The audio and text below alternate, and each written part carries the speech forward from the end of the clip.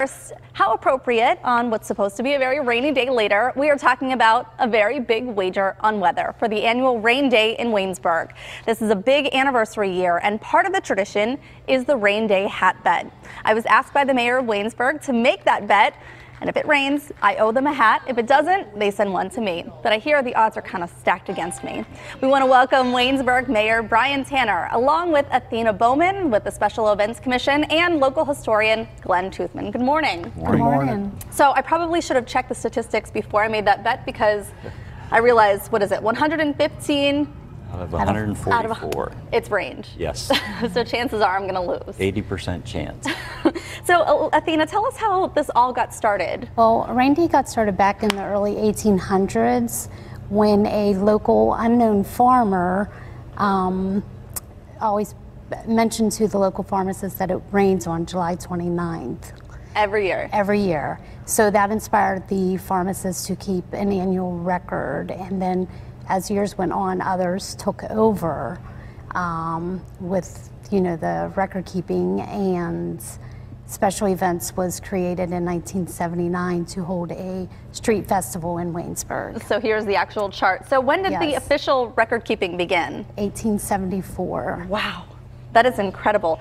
Um, Glenn, I understand though, uh, there's a big 100th celebration this year, and that is because of something that happened in the early 1900s. Yes, Rain Day for Waynesburg um, has, a, you, know, a dual personality. Okay. We want to celebrate uh, a community event, but unfortunately, 100 years ago in 1918, uh, over in France, our company K Boys from Greene County, 18 of them were killed all on July 29th as they uh, attempted to take a high ground at Grimpettes Woods mm-hmm. near a small town called Courmont, France. So we're celebrating, or let's say honoring, honoring that really. uh, particular event. And those uh, those 18 young men are called the Rain Day Boys, and that is actually something you you authored a book, co-authored a book about them. Yes, Candace Buchanan and I. Uh, we're both from the community. 16 years of research, uh, allowed that book to happen. Mm-hmm. And wonderfully, uh, the Heinz History Center took excerpts from that and wow. published the Rain Day Boy article in their centennial edition. That's amazing. So, talk about how this um, Rain Day celebration kind of has expanded and grown over the years. Well, uh, as far as the hat bet goes, in the uh, 1930s, we had a gentleman in town by the name of John Daly, and he's the one that started the hat bets. And just to give you a little bit of ideas of who have had the bets with us I saw earlier. the list. It's impressive. Uh, Jack Dempsey, Bing Crosby, Bob Hope, and then some of the local individuals we had was Bob Prince, mm -hmm. Arnold Palmer, and of course Mr. Rogers. That's amazing. And you even had Will Ferrell. Will yes. Ferrell, yes. Donald Trump before yes. he was president. Before he was president, yes. It's amazing. Okay, so here is my hat. This is my lovely KDKA hat, which I guess you probably most likely will be receiving. I'm hoping so, yes. and this is my hat, this, should I yeah, win. You, you, can look at it now. So that you but guys, you, win, you get it. You actually encourage or, or hope for rain. When most people have big events, they hope that it stays dry and that more people come out. How do you celebrate the rain on that day?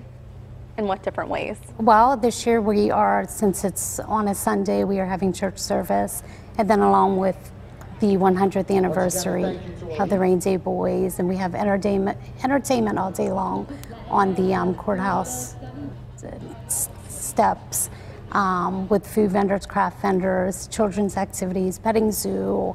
Um, we have the headliner band this year's Ferris Bueller Revenge, and then we end the night with fireworks. So amazing. Yes. Well, and uh, Mayor, you were just telling me that uh, right now today you guys will be stenciling. I thought this was yes. so neat. Tell us what you're doing. Uh, on the towns in front of our businesses on our main street near the courthouse, we uh, stencil the sidewalks with this spray that only becomes clear when it rains.